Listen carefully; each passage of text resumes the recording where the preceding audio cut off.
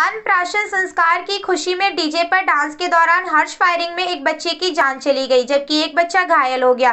घायल बच्चे को उपचार के लिए जिला अस्पताल में भर्ती कराया गया। मलवा कोतवाली क्षेत्र के गाँव सडियन पूर्वा निवासी शिवराम पुत्र पुत्तीलाल के नौ महीने के बेटे शुक्रवार को अनप्राशन था, जिसमें उसने डीजे का आयोजन किया था। रात को डीजे पर नाच हो रहा था। बताते हैं कि करीब दस बजे शिवराम तमंचे से हर्ष फायरिंग करने लगे। गोली नाच देख रहे गाँव के ही एक निवासी कमले कमलेश के आठ वर्षीय पुत्र कनिष्क के पेट में लगी, जबकि अर्जुन लाल के दस वर्षीय बेटे विपिन के हाथ में गोली का छड़ा धस गया।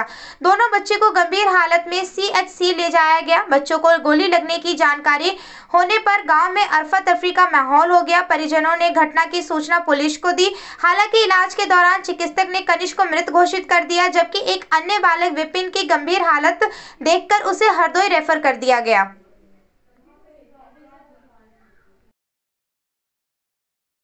थाना मल्लावा क्षेत्र में कमलेश सनाफ नंदराम आर ओ सड़ियनपुरवा।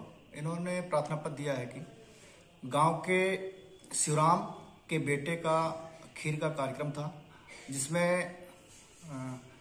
डांस चल रहा था और वहाँ पर शिवराम ने एक तमंचे से फायर कर दिया, जिसमें एक बच्चा कनिष्क, जिसकी उम्र लगभग आठ साल है, उसकी डेथ हो गई और एक दूसरा बच्चा जिसके हाथ पे गोली लगी है।